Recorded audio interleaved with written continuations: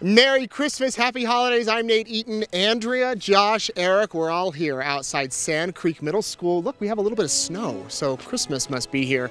We're about to surprise a teacher. Her name is Cheryl.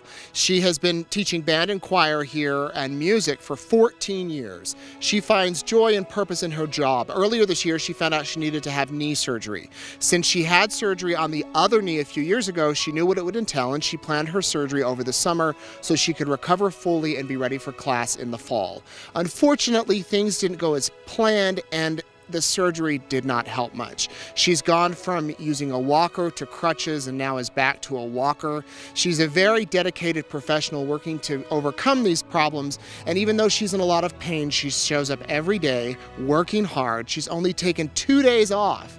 And she's told her kids she's not allowed to take any more times off because it's harder to work on the music her kids say, without her being there. She could really use some help to make her life more comfortable. A recliner that helps you go down and up easier, one of those electronic ones. Well, that's what Secret Santa's gonna get her.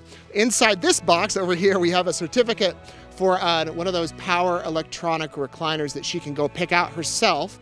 And in this box, we have a check for $5,000. We believe she's in class right now. She might be at lunch, but let's go inside the school and find out. Hi. What's up? We're here to see Mrs. Stetz. Okay. Don't, but don't tell her it's us.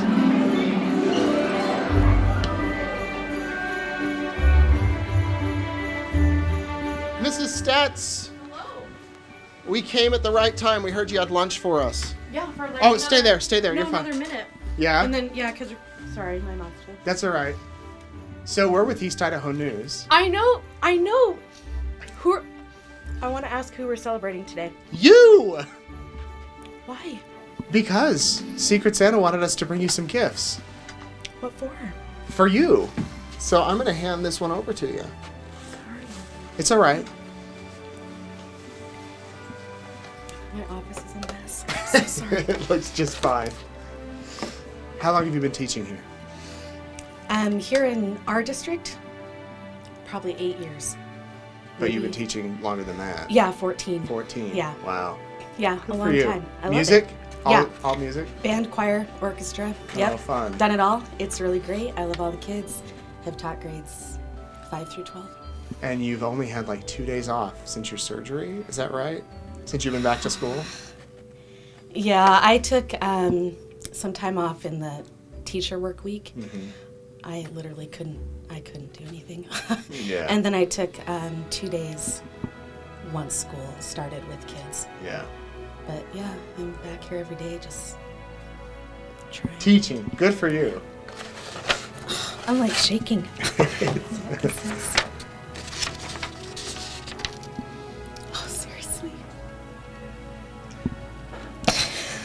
You can pick an electronic recliner, one of those power ones that can help you get up and down easier. That's gonna be so great. We didn't want to pick it for you. So you go to the store and pick it out. Choose your favorite. They'll deliver it for you to your house, set it up, everything.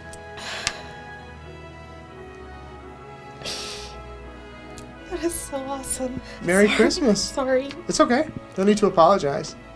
Let me give you one more thing. I was not. Um, I don't. I, would never have guessed that. Never would have expected that. Well, good. Surprises make it It's better. really great.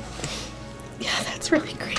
Thank you. you can okay, match sorry. your couches, match whatever else is in your house. Awesome. Oh, seriously?